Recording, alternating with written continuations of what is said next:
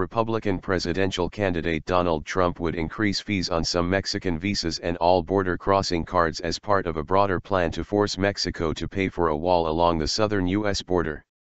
Trump, the frontrunner in a crowded Republican field, has made immigration a central plank of his campaign.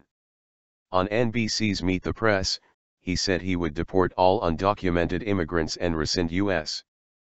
President Barack Obama's executive orders on immigration. The orders, if enacted, could protect as many as 5 million undocumented immigrants from deportation.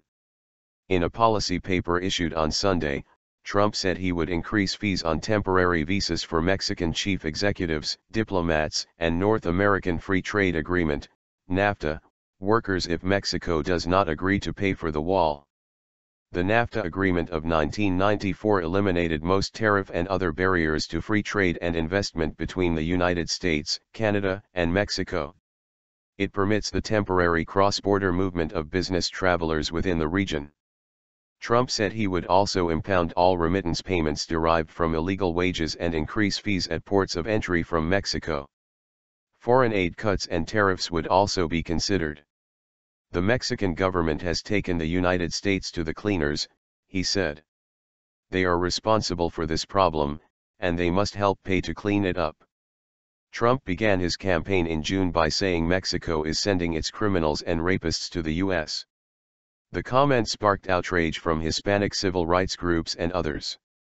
In his new position paper, Trump said he would triple the number of Immigration and Customs Enforcement, ICE, officers and pay for the increase by eliminating tax credit payments to illegal immigrants. He would also increase penalties for people who overstay their visas and end the policy of giving automatic citizenship to the children of illegal immigrants.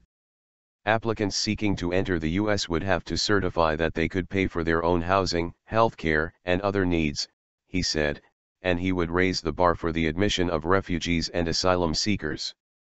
Trump said he would also place the issuing of green cards to foreign workers on pause so employers would have to hire from the domestic pool of unemployed workers. This will help reverse women's plummeting workplace participation rate, grow wages, and allow record immigration levels to subside to more moderate historical averages, he said. The presidential election will be held in 2016.